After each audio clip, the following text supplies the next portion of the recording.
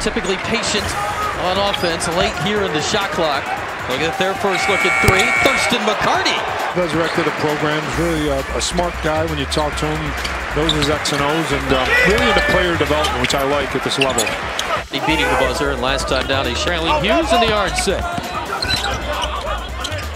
Open Guerrier with a finish. Well, keep away. We're not going to try to spike anybody. I've opted against the three that time. This time wide open. Ends the cold streak.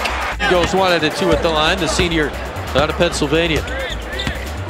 The Orange operate with their freshman point guard Joe Girard in his second career start.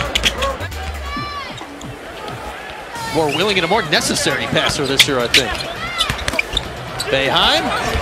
Great up and under. Up and under. Just better just not to go in at all, right? Just avoid. I usually don't. He brings his he brings his laundry home. Um, he's yet to do a load at school, so I'm guilty of that. It's my fault. Here's Boeheim, his brother, the closest defender.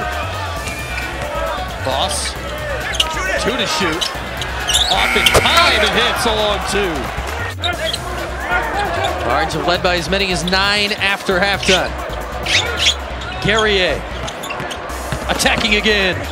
You do like to watch as a coach Virginia's defense to see sure what they're doing. Do. Sure you do. Why wouldn't you?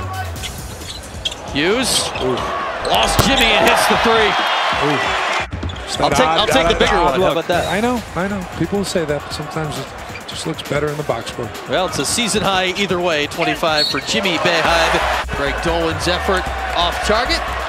And that'll wrap it up tonight in the Dome. It was the Battle of the Boeheims 3.0, and Buddy and Dad, the winners tonight.